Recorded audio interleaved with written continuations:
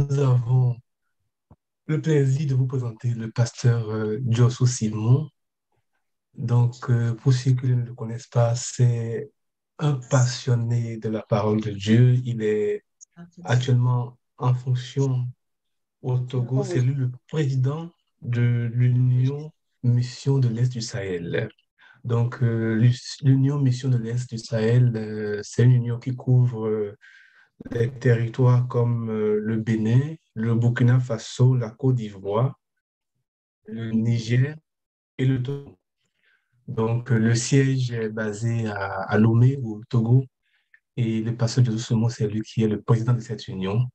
Donc, il a accepté notre invitation pour nous conduire ce soir dans un enseignement sur l'espérance. Pasteur Josso, vous êtes euh, bienvenu parmi nous.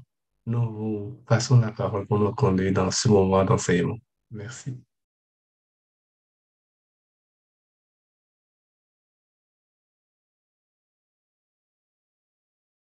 Merci à mon cher frère et ami Vigile. Lorsque j'ai reçu cette invitation, ce fut avec plaisir que j'ai accepté parce que la vie de l'être humain n'est qu'une vie qui a son sens lorsqu'on est en connexion avec Dieu. Et lorsque j'ai reçu l'invitation du groupe Méditation et Prière pour parler de l'un des sujets de ce soir, espérance et réveil, j'ai dit, OK, nous avons tellement parlé de réveil, pourquoi ne pas parler maintenant de l'espérance? C'est pourquoi je voudrais partager avec vous ma petite connaissance sur euh, le, la valeur de l'espérance. La valeur de l'espérance. J'espère bien que vous voyez bien mon écran, n'est-ce pas? Oui. Oui, pasteur, on voit bien. Notre espérance, l'espérance, leur espérance, notre espérance, l'espérance future quand nous lisons dans les Saintes Écritures, selon ce que, que soit dans l'Ancien Testament et dans le Nouveau Testament, nous voyons l'espérance. Et nous voyons également que sans espérance, l'homme ne peut pas avoir une vie épanouie. Et je lis un premier texte, comme vous le voyez sur l'écran, dans Hébreu 11, verset 7 à 11. C'est pas la foi que Noé divinement averti des choses qu'on ne voyait pas encore et saisi d'une crainte respectueuse, construisit une hache pour sauver sa famille.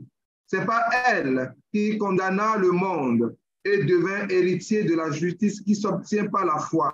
C'est pas la foi donc qu'Abraham, lors de sa vocation, obéit et partit pour un lieu qu'il devait recevoir en héritage et qu'il qu'il partit sans savoir où il allait.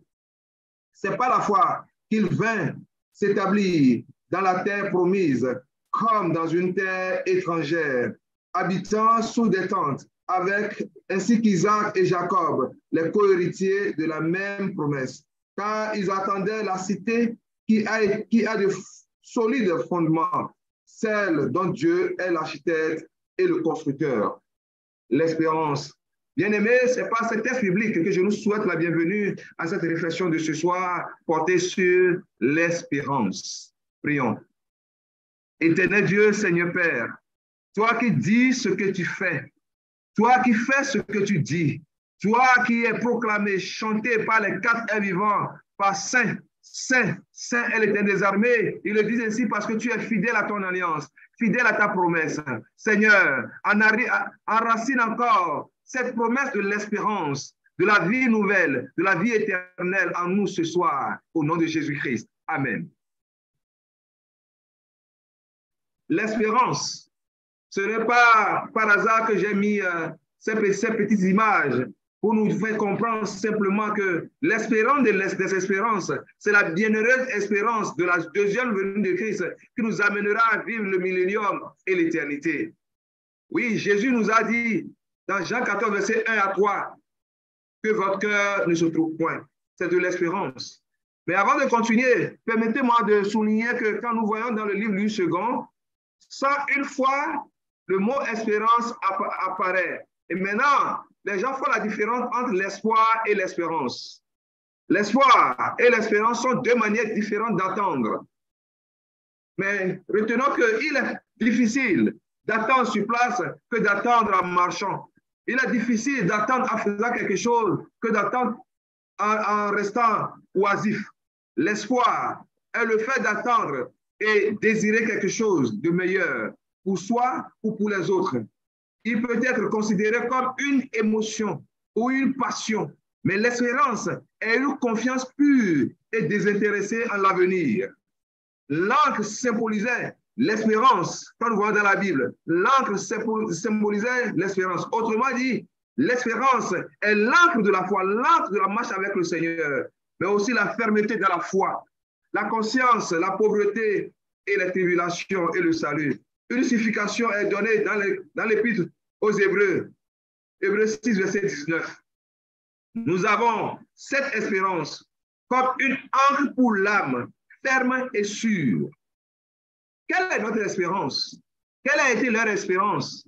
Quand nous lisons dans Genèse chapitre 3, verset 15, lorsque le péché est entré dans le monde et que l'univers entier se demandait qu'est-ce qui allait arriver, après le conseil des trois, Jésus est sorti la troisième fois pour dire qu'il devait venir mourir pour l'humanité afin de nous sauver de ce monde de péché. Et c'est pour cela que le Père céleste a dit, je mettrai l'inimitié en toi et la femme, en ta postérité et sa postérité. Celle-ci t'écrasera la tête et tu lui blesseras le terreau. C'est la première espérance, lieu d'espérance, l'évangile que l'humanité a reçu.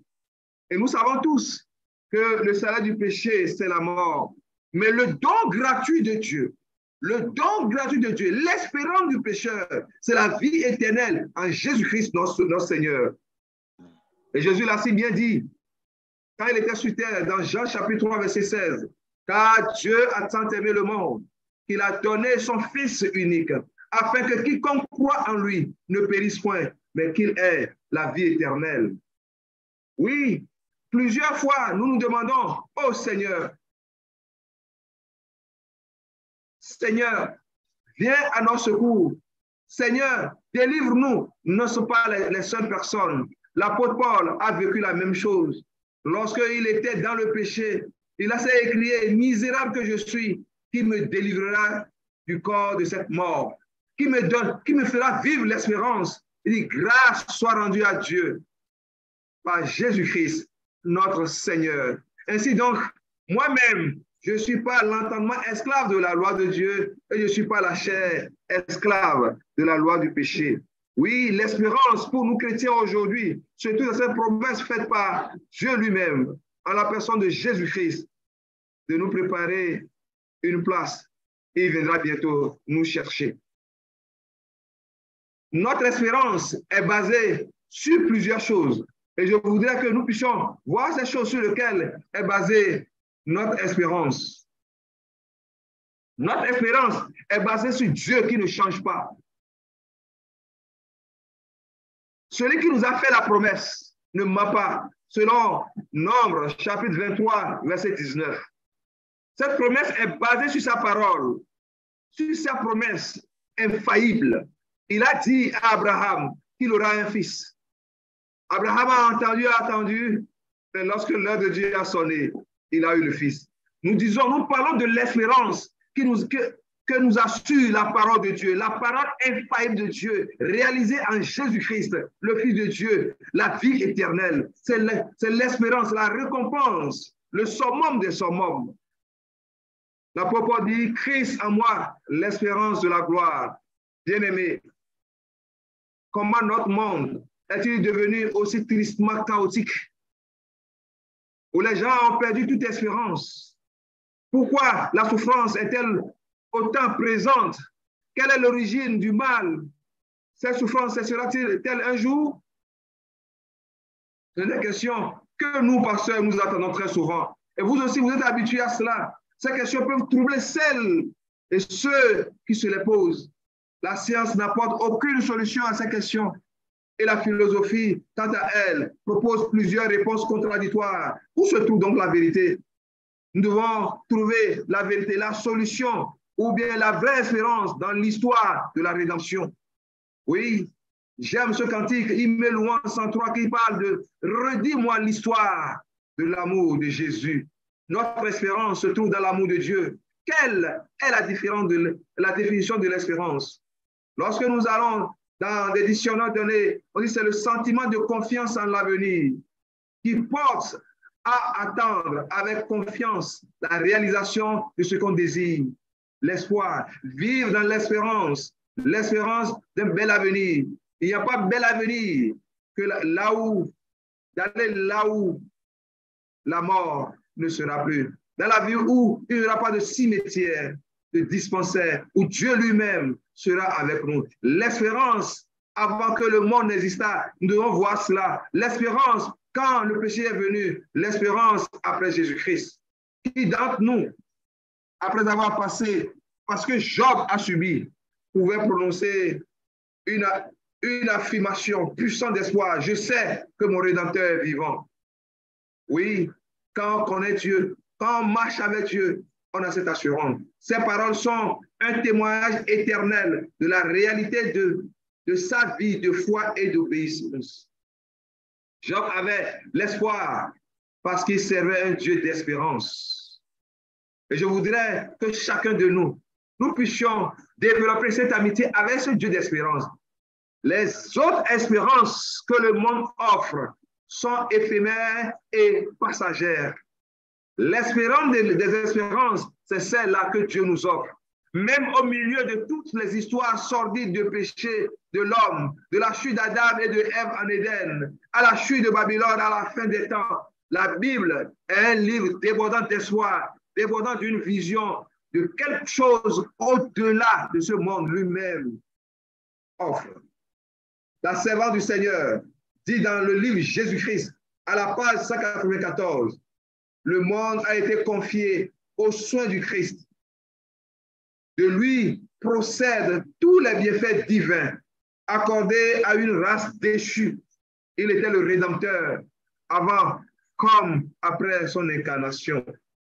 Dès que le péché a fait son apparition dans le monde, il y a eu un sauveur en la personne de Jésus-Christ de Nazareth. Et qui est le sauveur?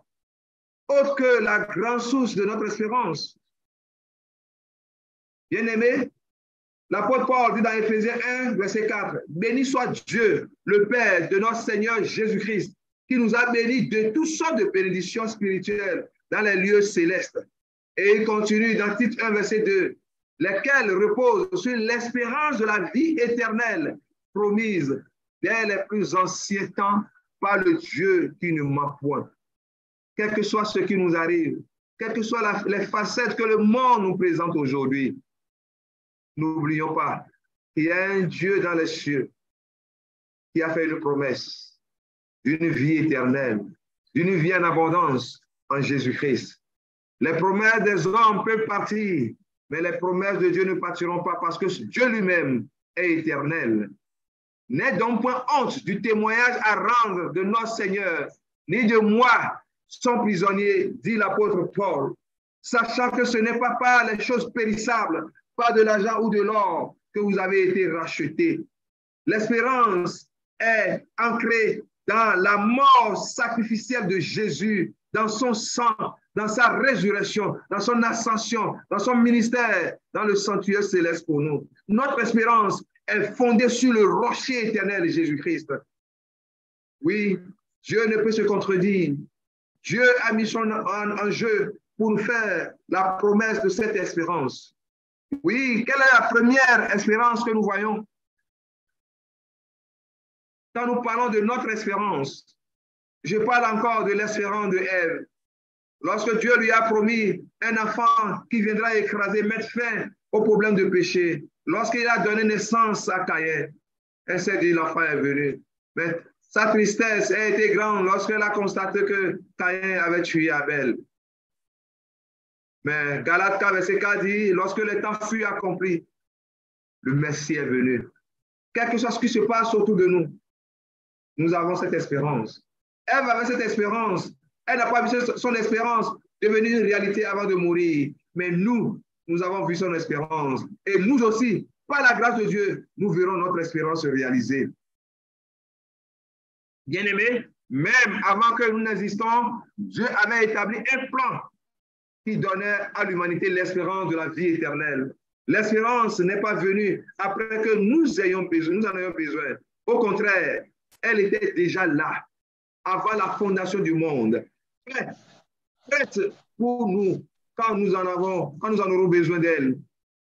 En tant que chrétiens, nous avons beaucoup à espérer. Nous hésitons, nous existons dans un univers, nous existons dans un univers créé par un Dieu qui nous aime. Ça, je vous garantis cette assurance. Dieu vous aime. Il vous aime d'un amour éternel.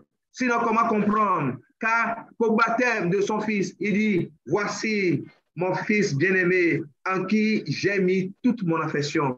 Et c'est ce fils-là en qui il a mis toute son affection, qu'il a sacrifié pour toi. N'est-ce pas donc qu'il a mis beaucoup plus d'affection sur toi? N'est-ce pas qu'il te valorise? N'est-ce pas, que la promesse qu'il a faite sera un jour une réalité? Toi en Dieu. L'espérance de l'Éternel ne m'a point. Et comme il a dit dans Habakkuk, si elle tarde, attends-la. Un Dieu qui intercède pour nous, oh c'est merveilleux. Un Dieu qui promet de ne jamais nous abandonner, oh c'est excellent. Un Dieu qui promet de ressusciter nos corps de la mort, oh alléluia. De nous donner la vie éternelle avec lui. Ce sont là les assurances que nous avons. C'est là notre espérance. C'est là notre raison d'être. C'est là ce qui nous motive, qui nous pousse à aimer davantage notre Dieu. Notre espérance est une réalité. Ce n'est pas de l'utopie. Que dirons-nous donc à l'égard de ces choses? Si Dieu est pour nous, qui sera contre nous? Nous pouvons dire, comme Étienne, lorsqu'on le lapidait, il avait l'espérance de la résurrection. Ainsi donc, bien-aimés, la Paul dit que dans ce monde que nous avons à espérer, nous sommes les plus malheureux de ce monde. Comment pouvez-vous vous approprier alors cet espoir, quelles que soient vos luttes actuelles? La réalité est là. L'ennemi veut nous faire croire que notre espérance, c'est de l'utopie.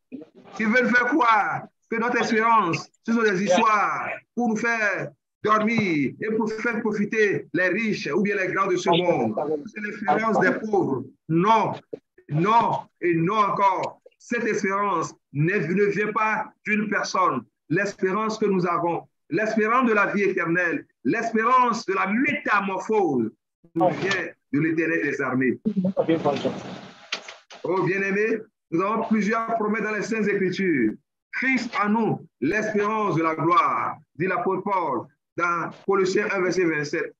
La connaissance de ce mystère nous donne la clé de tous les autres, dit la servante du Seigneur.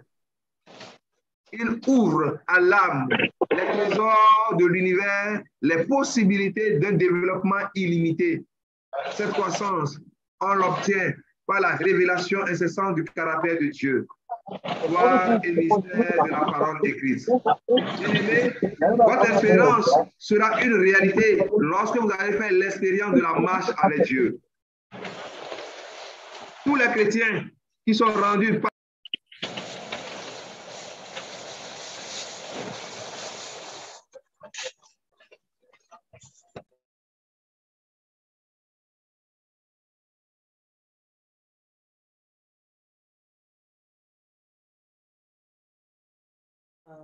C'est bon, tu peux ouvrir ton micro, pasteur. Continue.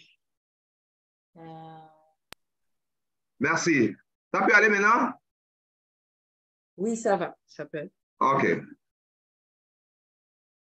Comme je le disais donc, tous les chrétiens qui sont rendus participants du salut divin ici-bas et qui possèdent l'espérance de partager les gloires du royaume éternel doivent se rassembler auprès Christ. Que chacun se sente responsable de son propre cas.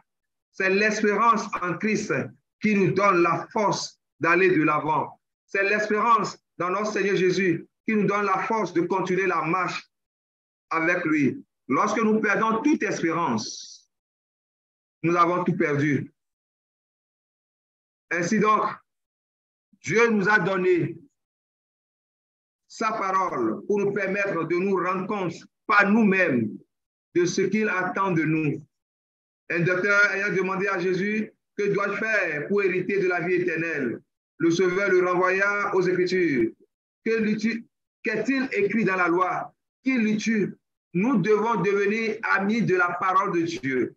Nous devons étudier la parole de Dieu pour nous-mêmes, vivre ce que Dieu nous révèle. Ainsi donc, quand il nous parlera d'une vie future, nous pourrons facilement croire. Mais quand nous ne croyons pas aux petites vérités qu'il nous donne, nous ne pouvons pas aller même à l'université de la parole du Seigneur. Et l'université de la parole du Seigneur, c'est de croire contre toute attente. C'est d'avoir l'espérance alors que tout s'écoule autour de soi. C'est de dire, aussi longtemps que la promesse de Dieu faite pour moi n'est pas réalisée, même si je meurs, il me ressuscitera. C'est ce qu'a dit Job et d'autres personnes encore. La liste est longue. Nous devons marcher avec Dieu en toute bonne conscience.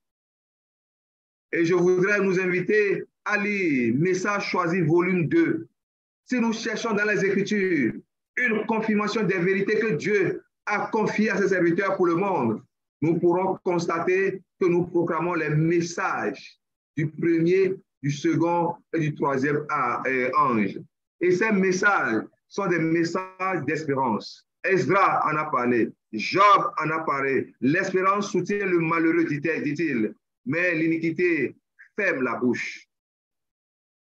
Ta crainte de Dieu n'est-elle pas ton soutien, ton espérance? N'est-ce pas ton intégrité? Nous devons développer cette espérance en l'éternel. La vraie espérance se trouve en l'éternel. Et je vous, c'est quelques versets qui parlent de l'espérance. Somme 25, verset 5. Conduis-moi dans ta vérité. Instruis-moi, car tu es le Dieu de mon salut. Tu es toujours mon espérance. Ceux qui ont pris Dieu pour espérance n'ont pas été déçus. J'avais mis en l'Éternel mon espérance et il s'est incliné vers moi. Il a écouté mes cris car tu es mon espérance, Seigneur éternel. Et toi, en, toi, excusez-moi, en toi, je me confie dès ma jeunesse. Et dans Ecclésiaste 9, il a dit quelque chose qui doit nous amener à vivre à fond notre vie autour de nous. Que dis-je? Pour tous ceux qui vivent, il y a de l'espérance. Et même un chien mort, un chien vivant vaut mieux qu'un lien mort. Ici, ce que l'Ecclésiaste nous dit, chaque heure que Dieu nous donne, Mettons ces heures à profit pour nous rendre utiles à Dieu et à l'homme. Faisons quelque chose pour marquer les hommes autour de nous. Faisons quelque chose pour qu'ils puissent louer et remercier l'Éternel, pour qu'ils puissent également avoir de l'espérance. Soyons également des donneurs d'espérance à des gens qui sont autour de nous. Ne vous livrez pas à des espérances trompeuses, dit Jérémie, en disant, ceci est le temple de Dieu, de l'Éternel, le temple de l'Éternel, le temple de l'Éternel. Ça veut dire quoi? Lorsque nous baignons dans le péché, la présence de Dieu ne se trouvera pas, même si nous avons l'âge de l'éternel. Nous n'avons que pour, preuve que au temps d'Élie, le sacrificateur, lorsque ses enfants ont fini finesse, commettaient le péché, ils pensaient que l'éternel était encore avec le lâche. Ils ont amené lâche en qui ils avaient placé leur espérance. Parce que quand ils amenaient l'âge à la bataille, ils gagnaient toujours. Mais cette fois-ci, ils ont oublié que l'Éternel n'était plus là. D'ailleurs, une des belles filles d'Élie dira, Icabod, la gloire est d'Israël. Quand nous vivons dans le péché, notre espérance va s'assouvir parce que Dieu ne sera plus avec nous. Le même Jérémie dit, mais voici, vous vous livrez à des espérances trompeuses qui ne servent à rien. Ne nous livrons pas des espérances données par des hommes. Appuyons-nous sur chaque ainsi par l'Éternel. La vraie espérance vient de celui qui ne ment point, celui qui, ne peut se tromper, celui qui ne change pas. Béni soit l'homme qui se confie dans l'Éternel et dont l'Éternel est l'espérance. Le prophète Ézéchiel dira également sa part dans le message d'espérance. Il me dit, fils de l'homme, ces eaux, c'est toute la nation d'Israël. Voici, ils disent, nos eaux sont desséchées, notre espérance est détruite. Nous sommes perdus, bien-aimés. Quelle que soit la profondeur de ta chute, si tu as, le courage de lever les yeux vers l'Éternel et de confesser ses péchés, il peut faire encore le miracle pour te sortir du gouffre.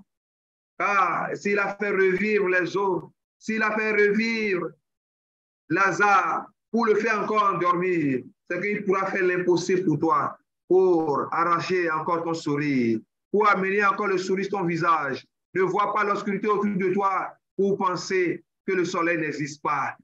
C'est seulement quelques nuages qui ont voilé le soleil à ta face. Ça peut être un nuage du péché, nuage d'alliance douteuse. Mais lorsque toutes ces choses seront balayées par le sang de Christ, tu verras à nouveau la lumière. Le prophète Michel dit dans Michel 7, verset 7, Pour moi, je regarderai vers l'éternel. Je mettrai mon espérance dans le Dieu de mon salut. Mon Dieu m'exaucera. Alléluia. Gardez votre espérance dans le Dieu d'Israël.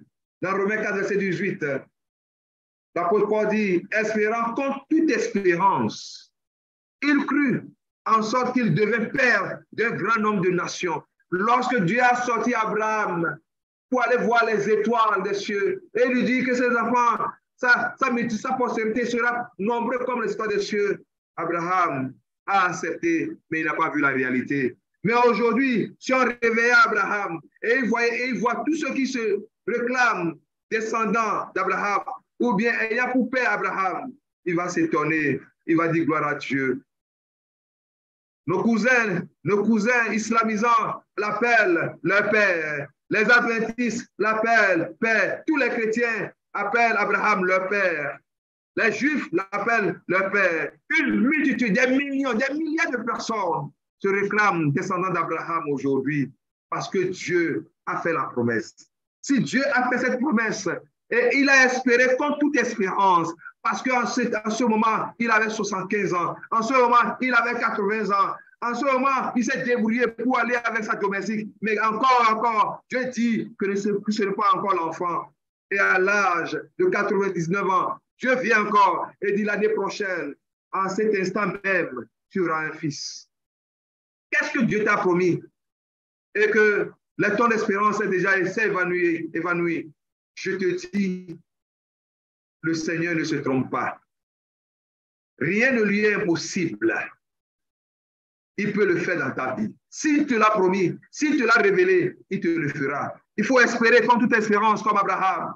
Il faut croire en sorte que tu deviennes possesseur de ce que Dieu t'a promis. Selon ce qu'il a dit, telle sera ta postérité. Oui, Abraham a espéré et Dieu lui a fait grâce. Isaac a espéré et Dieu lui a fait grâce. Isaac a attendu 20 ans avant d'avoir ses enfants et Dieu lui a donné deux en même temps. Et de l'un des deux, c'est devenu maintenant le père de plusieurs, Israël. Israël a espéré et Dieu a également répondu à sa prière. Oui, il pensait que Joseph était déjà parti. Il a fait le deuil de Joseph. Peut-être que tu as déjà oublié une promesse de l'Éternel.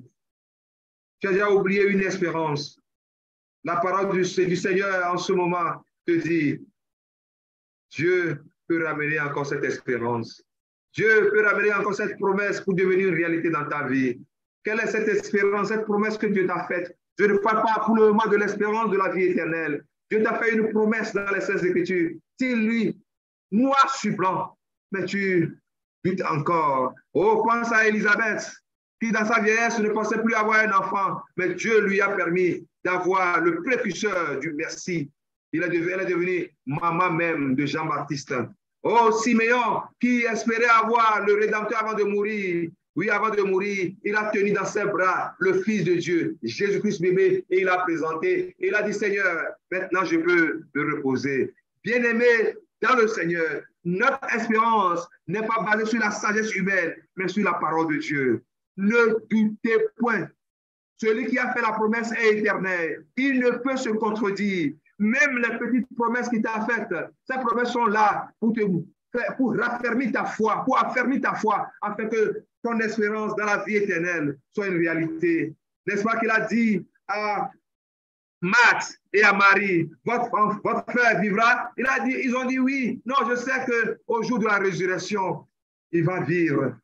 Il sera ressuscité. Jésus dit non, maintenant même, je te parle de maintenant. Il sera ressuscité parce que j'ai réservé ça pour lui. Parce que ce que je faisais, les gens pensaient peut-être que les gens étaient entrés dans le coma. Mais lui, il est resté quatre jours dans la tombe. Il commence déjà pas à pourrir. N'est-ce pas ce que vous venez de dire? Mais allez, ouvrez-moi la grotte. et ils ont sorti, ils ont fait le miracle pour eux. Jésus a fait le miracle pour eux. Mais bien aimé, quelle que soit l'espérance, je le dis encore comme le prophète Abakou l'a dit, si elle tarde, attends la promesse de Dieu. Dieu n'est pas un homme pour mentir, ni le fils de l'homme pour se repentir. Ces promesses sont certaines, entièrement dignes de faire confiance. S'il y a un problème, ce serait peut-être vers nous. Faisons une introspection et demandons-nous qu'est-ce qui ne va pas? Parce que la faute, c'est toujours, souvent, très souvent de notre côté. Oui, bien aimé, dans 1 Corinthiens 13, verset 13, l'apôtre Paul dit, maintenant, donc, ces trois choses demeurent. Et je confirme, je dis, et je dis que ces trois choses demeurent pour le chrétien. La foi, l'espérance, la charité. Mais la plus grande de ces choses, c'est la charité. Quand vous développez une relation d'amour avec Dieu, quand vous entrez dans cette amitié avec Dieu, il vous dira dans Jacques 15, verset 15, je ne vous appelle plus ami, je vous appelle, je vous appelle plus serviteur, je vous appelle ami, parce que je vous révèle tous les secrets. Lorsque vous, franchissez l'étape de serviteur et vous devenez ami de Dieu, et vous l'appelez l'éternel mon Dieu et non l'éternel notre Dieu, vous aurez des révélations qui vont affermir votre espérance. Oui, l'apôtre Paul dit, souvenez-vous que vous étiez en ce temps là sans Christ, privé du droit de citer en Israël, étranger aux alliances de la promesse, sans espérance et sans Dieu dans le monde. Oh, mes bien-aimés, avez-vous cette alliance avec l'Éternel? Cette alliance partie, contractée par le sang de Jésus sur la promesse de Dieu? N'allez pas faire des alliances bizarres. Assurez-vous d'abord que vous êtes entré dans cette alliance christocentrique de Jésus-Christ avec Dieu. Cette alliance se révèle dans Deutéronome chapitre 10, versets 12 et 13. Il faut ces cinq choses pour que l'alliance soit véritable. La crainte de Dieu, l'amour de Dieu, servir Dieu, aimer Dieu et obéir à Dieu. Quand vous avez ces cinq choses, votre alliance est parfaite. Votre alliance portera des fruits. Et l'apôtre Paul dit dans, Colossiens 1, verset 23, si du moins vous demeurez fondé et inébranlable dans la foi, sans vous détourner de l'espérance de l'évangile, oh, de l'espérance de l'évangile que vous avez entendu, qui a été prêché à toute créature sous le ciel, et dont moi, Paul, j'ai été fait ministre. Si vous demeurez fondé et inébranlable de la foi sans vous détourner de l'espérance de l'évangile.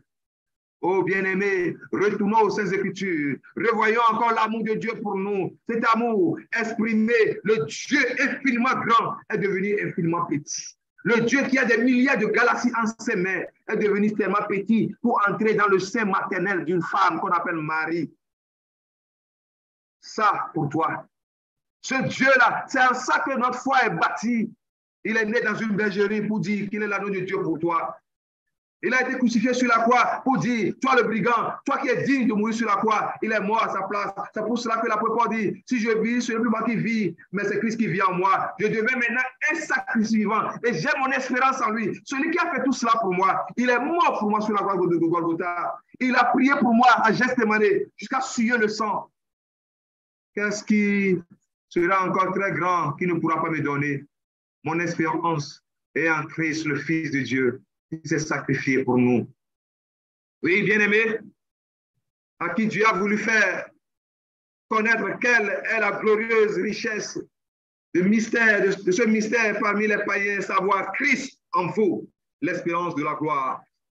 Elle nous enseigne à renoncer à l'impiété et au convoitisme moderne à vivre dans le siècle présent selon la sagesse, la justice et la piété, en attendant la bienheureuse espérance et la manifestation de la gloire du, grand Dieu et de notre Sauveur Jésus-Christ. Bien-aimé, si Christ est venu, il, a, il est né dans une bergerie pour te dire qu'il est l'agneau de Dieu pour toi. S'il a été baptisé pour te dire, tu as besoin d'être baptisé, et parce qu'il faut que le nom de l'Éternel soit invoqué sur toi. Est-ce qui se passe au baptême? Au nom du Père, du Fils et du Saint-Esprit. Et il te dira dans dans un chronique 7, verset 14, si mon peuple, tu es son peuple, celui qui a invoqué mon nom, ton nom, son nom a été invoqué sur toi lors de ton baptême. Alors, Christ a fait tout cela et il est allé maintenant Gethsemane, sur la croix. Il a été enseveli, il est ressuscité, il est monté au ciel et il est intercède pour toi maintenant au ciel. Qu'est-ce qui encore manque? Manque dans la promesse que tu ne vois pas encore. C'est sa deuxième venue. Et bientôt, tu le verras dans les cieux. S'il est dans le lieu très saint, tu as foi en cela il intercède pour toi. S'il intercède pour toi et l'Esprit de Dieu est avec toi, il t'accordera ce que tu demandes. Oh, bien-aimé, la servante du Seigneur dit que de notre cœur monte sans cesse une prière silencieuse afin de recevoir la lumière, la sagesse et la force dont nous avons besoin. Que chaque respiration soit une prière. Ne doutons pas. Lorsque nous nous tiendrons avec les rachetés sur la mer de verre, munis des arbres d'or, et des courants de gloire devant l'immensité de l'éternité, alors nous comprendrons combien courte était la période d'attente et d'épreuve. Les quelques années que nous avons devant nous, Omar, 620 ans, tu es déjà fatigué de la vie. Cela, c'est une petite chose. Car le Seigneur nous offrira l'éternité. Dans la contemplation du Sauveur, le mois est oublié, les difficultés sont oubliées et l'espérance naît. Et c'est pourquoi j'aime cette déclaration de l'apôtre Paul dans 1 Corinthiens 15, verset 19. Si c'est dans cette vie seulement que nous espérons en Christ, nous sommes les plus malheureux de tous les hommes. Notre espérance est dans la deuxième venue de Jésus-Christ. Notre espérance est dans cette cité qu'il bâtit pour nous. Notre espérance est en lui. Et l'apôtre Jean dira dans 1 Jean 3, verset 3, quiconque a cette espérance de la deuxième venue de Christ, a quiconque a cette espérance en Christ, en Dieu lui-même, se purifie comme lui-même est pur. Parce que ce sont ceux qui sont purs qui verront la foi de Dieu. Lorsque dans cette espérance, nous sommes maintenant appelés à vivre des disciplines spirituelles afin d'être comme nos sauveurs. Et je citerai quatre disciplines spirituelles sur les douze que le chrétien doit avoir. Oui, étude de la parole du Seigneur pour soi-même, en regardant les cinq doigts de la main. Qu'est-ce qui est indispensable, le pouce Qu'est-ce que Dieu m'indique, l'index? Qu'est-ce qu'il y a en profondeur? Je dois sonder pour chercher le majeur. Quelle alliance Dieu veut faire avec moi avec ce texte L'annulaire? Qu'est-ce qui est explicatif Qu'est-ce qui est, je dirais, parabole? L'auriculaire. Quand je fais comme ça, je tue la parole de Dieu comme ça, je vais avoir une relation de disciple avec le Seigneur. En dehors de de la parole de Dieu, la prière. En dehors de la prière, le jeûne. En dehors du jeûne, la méditation. Voilà quatre des disciplines internes qui fera de nous des gens qui ne vont pas oublier leur espérance. Bien-aimés, notre espérance, rien ne dispose mieux à la santé du corps et de l'âme qu'un esprit de reconnaissance et de louange. Votre espérance, dit la servante du Seigneur, ne se repose pas sur vous-même, mais sur Jésus-Christ. Leur espérance, c'est que l'agneau de Dieu, Jésus-Christ, viendra un jour voilà l'agneau de Dieu. Il, il voyait Christ à venir, qui va mourir sur la croix. Même, même Abraham, lorsqu'il sacrifiait son fils, c'est dans l'espérance que l'agneau, Dieu même se pouvoira. Parce que, qu'est-ce qui a été dit Nous pensons souvent qu'il a dit Dieu pouvoira. C'est non, Dieu se pouvoira. Et finalement, cette espérance que lui a expérimentée dans Genèse 22, nous le voyons maintenant en réalité vivante lorsque Christ a donné sa vie sur la croix de Golgotha pour nous. À la 31 de notre histoire. Oui, c'est là l'espérance, la naissance du Messie. Mais il est né, mais qui a cru? Ce sont quatre mages qui sont venus du pays étranger, qui sont venus annoncer. Des bergers sont venus. Même les Juifs ont essayé d'étouffer cette naissance, mais leur espérance est devenue une réalité le Sauveur est né. Ils ont vu une étoile dans les cieux. Ils sont venus l'adorer. Il est venu en Afrique. Maintenant, notre espérance, c'est que Christ est déjà venu. C'est une base pour nous. Nous connaissons la vérité sur le sanctuaire. Et notre espérance en nous, c'est que Christ promis est venu. Et Christ a promis de cet esprit. De cet esprit est venu. Il a promis qu'il viendra. Ça, c'est notre espérance. Le lion de la tribu de Judas, l'agneau divin, seul digne rompre les sept sceaux. Oui, il a exercé, on l'a vu. Leur espérance, c'est que le sauveur doit mourir. Mais notre espérance, c'est qu'il est mort, effectivement. Le soleil que aussi à midi de ce jour, alors qu'il était déjà crucifié à 9 h du matin et à 15 h il a dit, Père, pardonne-leur. Je réclame cette prière de Jésus pour nous tous. Père, pardonne-nous. Et ensuite, il dit, tout est accompli. Que tout ce qui doit être accompli pour que notre espérance devienne une réalité soit accompli dans vos vies au nom de Jésus-Christ. Et ensuite, il dit, Père, je te recommande mon esprit. Je nous recommande dans les mains du Tout-Puissant. Et ensuite, maintenant, il est dans le lieu très saint pour nous maintenant intercédant. Oh, bien-aimé, voilà notre espérance en image. Voilà notre espérance.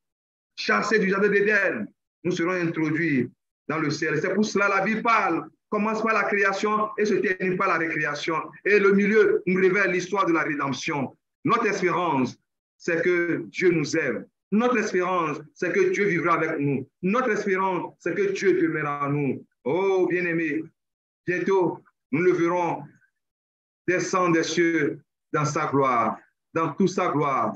Et ce, celui en qui nous, nous avons cru viendra et nous allons l'accueillir. Ça, c'est notre espérance. La deuxième venue de Jésus-Christ l'espérance des, espérances, l'établissement de la nouvelle Jérusalem, la résurrection de nos bien-aimés qui sont partis se reposer. Oh, y a-t-il encore d'autres espérances que Dieu t'a faites? Cela également s'accomplira. Car comme l'éclair part de l'Orient et se monte jusqu'à l'Occident, ainsi sera l'avènement du Fils de l'homme. C'est une vérité concernant le retour de Jésus. Cette, ce retour sera littéral, personnel, visible, audible, glorieux et culminant. Oh, je nous invite à ce rendez-vous-là. Ce ne sera plus une réunion Zoom, une réunion à distance, mais une réunion en présentiel où Jésus même sera l'orateur pour nous tous. Voudrez-vous vous préparer pour vivre cette espérance? En ce moment-là, ce ne sera plus notre espérance, ce sera notre réalité. Que Dieu nous garde. Amen. Amen. Amen. Amen. Amen. Et nous remercions infiniment le pasteur euh, Joshua Simon pour euh, nous avoir connu dans cet enseignement sur l'espérance.